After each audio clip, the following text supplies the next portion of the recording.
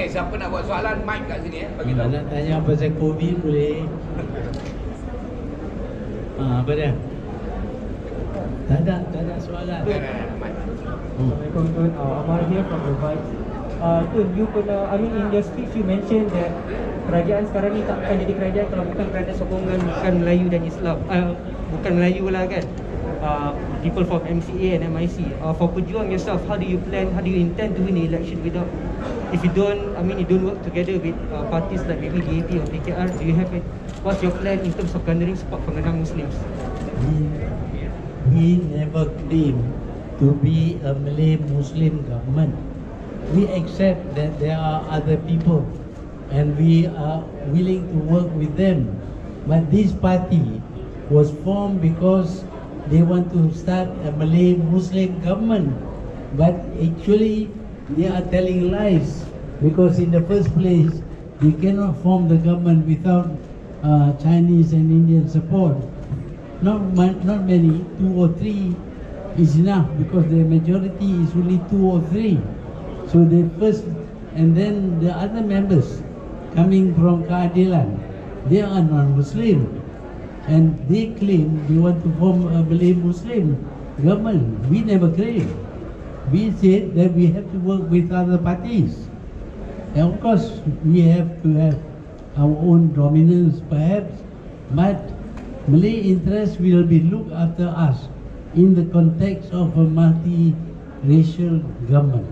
That has been the case in Malaysia ever since independence. There has never been a Malay Muslim government. But in order to get support for themselves, they promise they will uh, uh, create a Malay Muslim government. And now it is uh, proven to be a lie because Bersatu, which was a Malay Muslim party, is now a multiracial party. So you intend to work together with parties, maybe from AEP, PKR, in the coming for the coming election? Well, we are going to be a third party. We are not committed to either.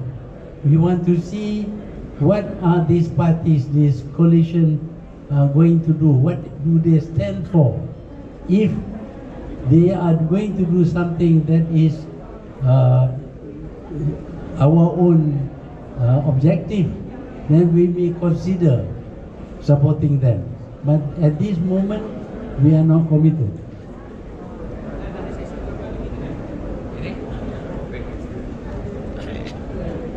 Welcome Tuan, uh, Arif from Malaysia Pini.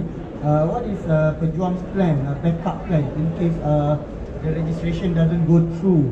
Uh, because uh, people said that uh, the next general election is just around the corner. Would uh, Pejuang go with uh, contest uh, as independent or tumpang macam uh, logo PKR like in uh, GE14 or what is the plan? Thank you. we have plan B. But plan B, of course, is secret. I cannot tell you. But as you know, the last time when we bersatu, when we were in Bersatu, at the last moment, the government erased the registration of Bersatu and refused to register Pakatan Harapan. But even then, we were able to overcome and win the election. So believe us, we know how to do things. Ada? Uh, Assalamualaikum Tuan Muhammad Berberita Harian uh, Tuan, uh, sebelum ni Datuk Seri Anwar ada bercakap pasal uh, pelawaan Tuan uh, untuk bergabung dengan Datuk Seri Anwar. Tapi Datuk Seri Anwar ada gariskan beberapa syarat. Katanya uh, dia terbuka untuk memilih sesiapa termasuk daripada Tun sendiri untuk bergabung balik dengan Datuk Seri Anwar. Tapi syarat dia tak boleh ada agenda peribadi dan kena patuh prinsip yang mereka gariskan. Sudi atau tidak Tun terima syaratnya? Bila Pakatan Harapan kalah, tak jadi kerajaan, kita cuba kerja. Walaupun bersatu tidak ada dalam Pakatan Harapan, kita ada apa yang dipanggil sebagai Pakatan Harapan Plus dan kita tawar untuk kerjasama dengan Pakatan Harapan. Anwar tolak saya bulat-bulat. Tak boleh jadi apa pun. Tak boleh masuk. Jadi yang tolak ni bukan saya, dia. Saya habis nak kerjasama juga, saya offer kepada dia. Tak apalah saya jadi Perdana Menteri cuma untuk 6 bulan. Oh tak boleh. Eh, Dia punya yang ni. Bagi nama Syafi'i pun tak boleh. Dia nak nak jadi Perdana Menteri. Tapi dia tak boleh jadi Perdana Menteri kalau tidak ada sokongan yang cukup. Kalau tak ada kami, dia tak dapat sokongan yang cukup. Dan berapa kali dia kata apa ni? Uh, Strong, dia- strong, formidable, strong, formidable, uh, Convincing. convincing majority. Oh, pilih, pilih balik lah.